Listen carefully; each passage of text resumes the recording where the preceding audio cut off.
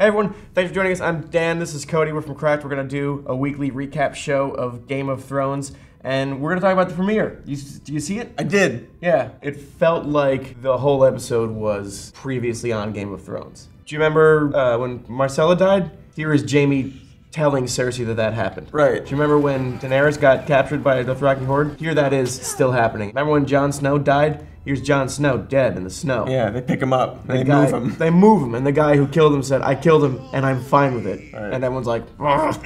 Okay. "All right." So Sansa and Theon escaped. They did this big dramatic thing, like we have to jump off the castle, and then we have to walk in this frozen water. And Sansa's like, "I don't. It's too cold." It's like you have to. It's the only way to stop the dogs. So they walk across the road, do. and then the dogs are like waiting for them on the other side. Right, it buys them a minute to hug. And then they're saved by Bran and Pod. Yeah, and then she's like, I pledge my sword to you again. Clearly, I've shown my worth. And like, why even wait for a response? Yeah. Yes, we're all in it together now. Those dogs, um, completely fed off, by the way. The sound was dogs barking the entire time. That's what gave attention. And then the dogs showed up, and they're still barking. And then Brienne and Pod showed up, and not only do the dogs not make an impact in that fight, these uh, historically vicious dogs that tear people apart, they just saw Brienne, and they were like, "Oh, that's Valyrian steel. Holy shit! I'm gonna sit." they watch the fun fight.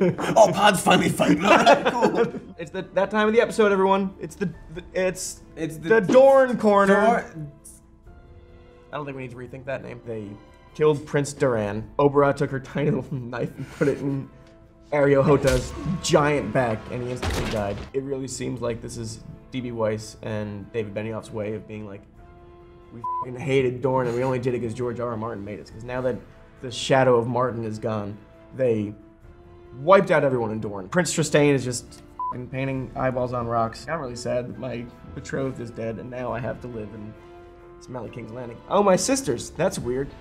Oh, they're here to kill me. All right, I'm gonna pick the weaker It's one also weird. and then turn my back on the stronger one. And that rounds out the Dorne. the Dorne corner. corner. So Jon Snow's dead, huh? I guess. They stabbed him a bunch and then they walked away. What does anybody want to do with the body? Like they're making a they're making a big thing over it. It's, it's clearly going to become a plot point that Sir Davos Seaworth, the Onion Knight, uh, Edd, and the other fing five nuts, they're going to guard the body from Alliser, Thorne, and the other baddies. Burn the body.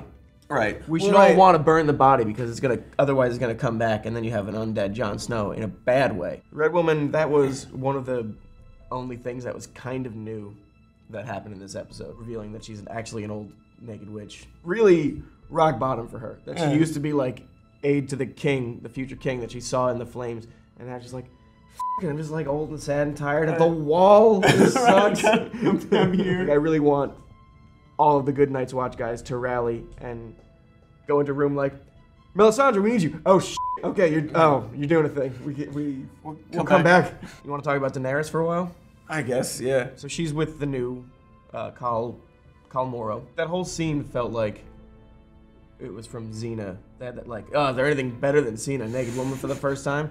And the guy's like, ah, sack in a city, sandwiches. He like rolls his eyes and like, seeing a naked woman is in the top five of things a person can do. And they're all like, yeah, that's fair. Like, Yeah, that's a Chandler's really, right. really right. Especially Dothraki. Yeah. Doing bits. No, you don't do bits. Yeah. You rape and you pillage. even when they talked in season one, there wasn't anything flowery about it or anything clever about it. It was like, we don't even call it the ocean. It's just like poisoned grass that horses can't drink.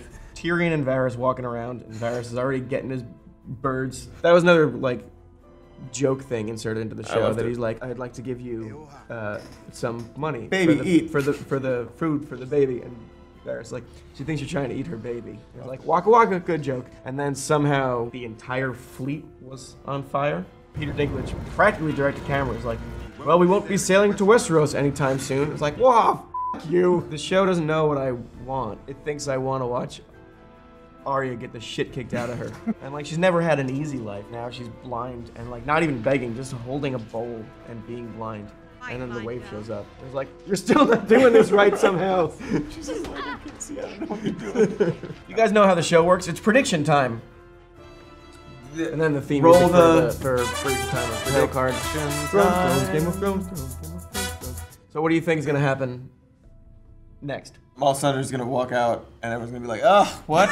Do you have any predictions for Sansa and Theon? no, but I'm looking forward to their adventures because now they're safe. Brienne has let a bunch of the people that she swore to protect are pretty dead. I know, I know. But I look forward to seeing post Reek Theon a little bit because we haven't seen that yet. Yeah. We've just seen him be like, "We gotta go," and then they jump. Gotta go I'd in like the to see him Gotta... be not sad for a while. Yeah. Because I've seen him be sad for so long. Hey everyone, thanks so much for watching. Uh, we want uh, to make this review show kind of interactive. So today we've had predictions and the Dorne Corner. Uh, let us know in the comments some other segments, other unplanned segments that you want us to do. It can be, I'd like you to talk about Dolorous Edd every week. Or just name a segment. Just say Drogon's Alley, and we'll make that a segment. The And we'll- marine things. Yeah, we'll, we'll check in with that. Yeah.